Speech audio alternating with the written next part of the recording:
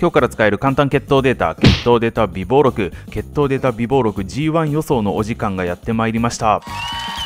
今回の菊花賞も先週の週花賞に引き続きラップ分析と血糖を交えた予想を展開していきたいと思いますラップ分析につきましては前回の菊花賞ラップ分析の動画をぜひご視聴いただければと思うんですけども、まあ、そこでの分析内容を基盤として今回血糖のファクターを交えてお届けしていきますのでぜひ最後までお付き合いください。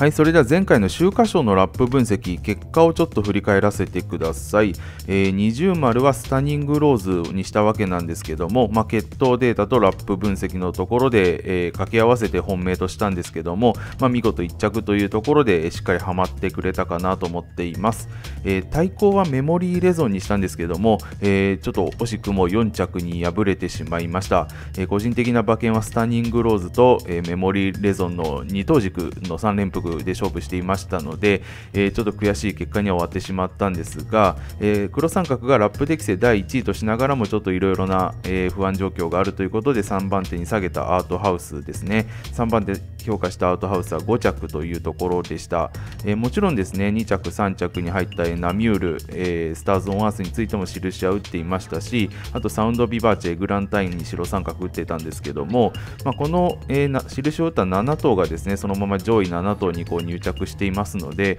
まあ、ラップ分析結構いいところつけたんじゃないかなと思っています、えー、最大の反省はちょっとメモリーレゾンに、え、依存した馬券を買ってしまったことかなと思います、えー、ラップ分析自体は結構いいところついていあのいたかなと思いますので、え今回もしっかり行っていきたいと思います。はい、それでは予想の方発表させていただきます。えー、2022年菊花賞、えー、20丸本命を打ちますのは、えー、アスク・ビクター・モアですね。えー、アスク・ビクター・モアにつきましては、えー、この日本ダービーの、えー、時のラップを高く評価しています、えー。日本ダービーのレースラップとアスク・ビクター・モアの個別ラップを比較した内容をですね、グラフで表示させていただいてるんですけども、まあ、この個別ラップはあくまで手動計測なので、まあえー、全く正確ではないと思います。まあ、大体の数値で入れてしまっているので、まあ、あくまでこの足の使い方をグラフでイメージしていただければなと思って、えー、ちょっと正確ではない数値ですが入れさせていただいております。えー、ラップ分析については、えー、詳細はですね、ぜひ、え前回のラップ分析の動画をご視聴いただければと思いますが、まあ、ずっとこの一貫ラップをキープできているというところで持続力を高く評価しています。えこのアスク・ビクター・モア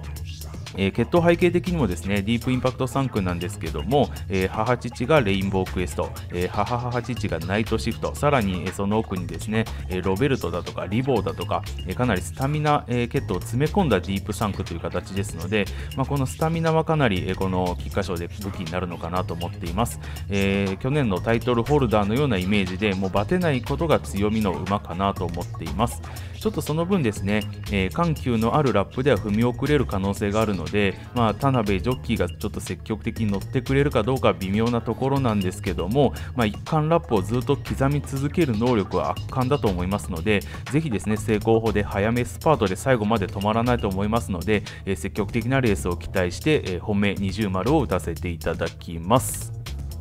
はい、続きまして、菊花賞2番手評価は、えー、ベローナシティですね、えー、このベローナシティにつきましては、えー、神戸新聞杯のラップ分析については前回の動画でお届けをさせていただいたんですけども、え京都新聞杯、えこちらのレースでもですね、かなり強い内容で、まあ、強烈な、え前傾ラップ戦をですね、まあ、かなり、え前半に、え負荷がかかったレースを、まあ、後方からですね、大外を回して、え大まくりをしたというレースなんですけども、まこのレース、え京都新聞杯と神戸新聞杯、まその他レースも見る限りですね、かなり息の長い末脚が使える馬なのかなと思っています。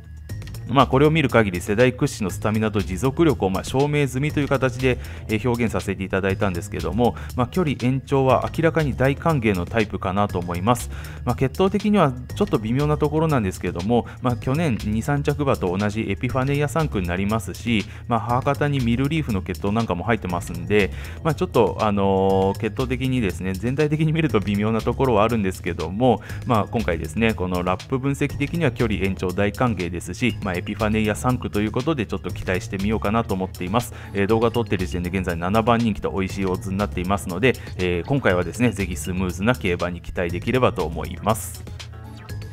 はい、続きまして3番手以下の馬ですね、えー、まず3番手、えー、黒三角打ちましたのは、えー、ボルドグ風習ですね、えこのボルドグ風習についても前回のラップ分析の動画で深く触れさせていただいておりますのでぜひそちらご覧いただければと思っております。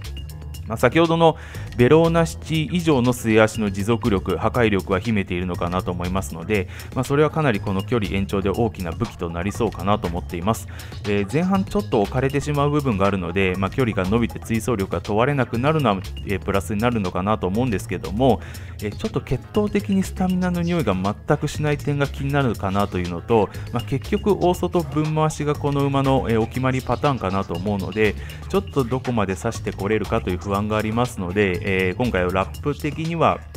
かなり高い評価をさせていただきながらも3番手評価とさせていただきました。意外と人気しちゃってて今5番人気となっているのでちょっとこの辺りはリスクが高いのかなとは思っています。えー、穴でちょっと面白そうなのが、えー、ポットボレットですね、まあ、スミレステークスの内容がかなり、えー、今回に通ずるものがあるかなと思っていまして、まあ、前半かなりゆっくりもし入ることができれば後半、えバテずにずっと足を使えるようなラップ披露してますので、えー、ちょっと、えー、スミレステークス以降の成績芳しくないところはあるんですけども、まあ、調教は動いてるのかなと思うので、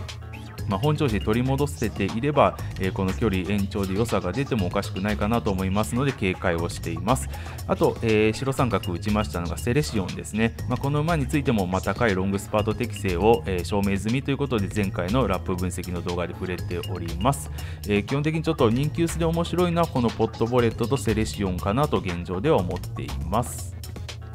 はい、またですね、これ以下の馬たちにつきましても、ちょっとまだあと1、2頭追加できればなとは思っています。えー、最終予想については Twitter の方で公開させていただければなと思いますので、ぜひ Twitter の方もご確認ください。えー、ぜひフォローをお願いいたします。えー、ちょっとオッズ次第でもう1、2頭ちょっと追加したいかなと思っていますので、ぜひ Twitter の方でご覧いただければと思います。はい、以上、菊花賞の予想をお届けさせていただきました。えー、その他、10月23日日曜日の平場レースの推奨馬に関しては、えー、別の動画で公開をさせていただいておりますので、えー、概要欄にリンク貼っておきますので、ぜひそちらの動画もご確認いただければと思います。はい、それでは最後までご視聴いただきましてありがとうございました。えー、菊花賞一緒に楽しんでいきましょう。